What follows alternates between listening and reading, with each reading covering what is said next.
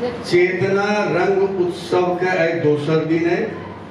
दोसर दिन के अखन आब दोसर सत्र भोर में 10 बजे से सेमिनार चलैत रहे, सेमिनार हॉल में, जे लगभग आइ चार बजे तक चलल ई दोसर सत्र बहुत गोटे के काल्हि से हमरा लग सवाल आयल है जे प्लेटफॉर्म शो की छै?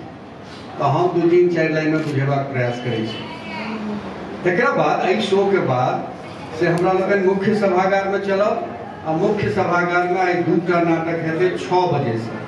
ओहिमे आइ विलम्ब नहीं करबै किया तऽ दुनू नाटक कनि लंबा अवधि के छै बजे हम ओहिठमा नाटक शुरू करब तो सब गोटे तक नाटक चलब इंटरनेशनल फेस्टिवल्स जते रहलै खास थिएटर फेस्टिवल। थिएटर फेस्टिवल में मुख्य कार्यक्रम से पहिने बाहर में, कैंपस में या सड़क पर। आर्टिस्टिक कोनो आयोजन 20 मिनट, आधा घंटा के रहल। थिएटर ओलंपिक्स जे एखन चलि रहल है देश में जकर आठम आयोजन पटना में सेहो भेल रहै, एन एस डी केने रहै, ओकर कोऑर्डिनेटर में हमसब रही एहिठमा प्रेमचंद इंशाल्लाह में तऽ थिएटर ओलंपिक्स से लऽ कऽ जते इंटरनेशनल फेस्टिवल छै ओहिमे मुख्य नाटक, मुख्य कार्यक्रम, जे औजुका छै, तकरा शुरू होइ से पहिने एकटा बाहर में आर्टिस्टिक कार्यक्रम हो, कलात्मक कार्यक्रम। जाहिमे गीत भऽ सकै नाटक, नुक्कड़ नाटक भ सकै डांस भ सकै मैजिक शो भऽ सकै छै, किछो भऽ सकै छै। ओ अहाँके मोनमे एकटा उत्सुकता पैदा करैए जे की भऽ रहल। है ओ अहाँके मानस तैयार करैए जे मुख्य कार्यक्रम देखे जेबै, से मुख्य कार्यक्रम केहन है? एकटा मानसिक तैयारी जेना थिएटर में हमरा सबके प्रदीप भाई के सामने में बजे में डर होइए ओ बाकायदा एम ए ड्रामेटिक्स छै हमसब नहि छी से। लेकिन एक्सपीरियंस के बेस पर कहै छी जे नाटक यदि देखऽ या कोनो कार्यक्रम देखऽ केओ जाइए तऽ ओकर तैयारी, मानसिक तैयारी कखन से करैए जखन ओकरा पहिल सूचना भेटै छै, कोनो पोस्टर देखैए, कोनो बैनर देखैए, कोनो इन्विटेशन कार्ड अहाँके देखैए, ओहिठाम से ओकर मानसिक तैयारी ओहि दर्शकके होइ छै जे ई कार्यक्रम केहन होयवला छै। तकर बाद सभागार में अबैए तऽ सभागार केहन छै?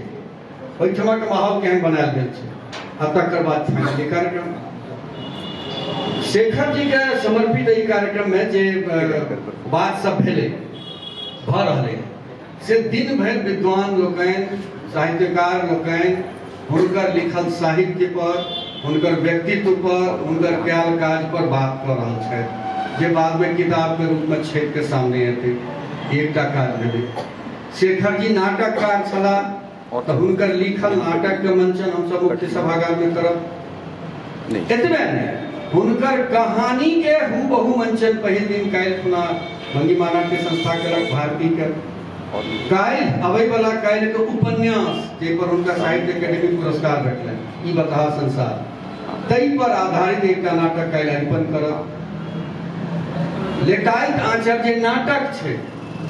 सब गोटे के बुझल है तकर सोलो परफॉर्मेंस परसू है ये अद्भुत बात है। अद्भुत क्रिएटिव बात है कि पूरा नाटक के केओ एक अभिनेता या अभिनेत्री सोलो परफॉर्म करते ई अनेक रूप में शेखर जी के देखबाक शेखर जी के रचना के देखबाक कोशिश कऽ रहल छी। छुटि जे रहल छलै हैं, से छलै हुनकर कविता वाला पक्ष। कम लिखलखिन हैं कविता, लेकिन लिखलखिन हैं। गीत आ गज़ल कहि के सेहो लिखलखिन हैं। अहाँ सब भीतर चलि। आउ सुरेंद्र जी पम्मी जी, सब गोटे भीतर चलि। आउ सोनी जी, स्वागत।